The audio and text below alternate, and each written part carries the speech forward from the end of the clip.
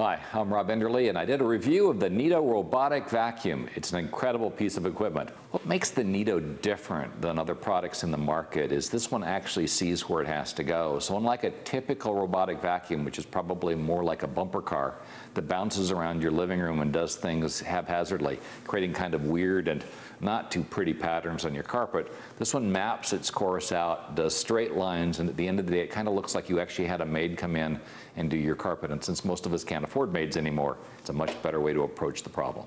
One of the areas where the Neato vacuum stands out is with pet hair. Most of the vacuums in the market, robotic or otherwise, uh, tend to get tangled up with pet hair, and this thing actually sucks the pet hair right up. In fact, even after we've had the carpet or the floors vacuumed, it's amazing how much more hair the Neato finds. Because we have Roombas on pretty much every floor of our house, when I did the review, we kind of had a battle royale.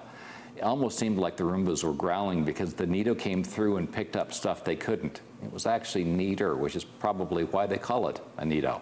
One of the cool features about the Neato is it kind of navigates like a self-driving car does. It always knows where it is and where it's going. So for instance, when it runs low on power, it goes back to the charging station, charges itself back up, and then goes right back to where it left off and continues to vacuum. Not only does that make the lines even and straight, it's kind of cool to watch.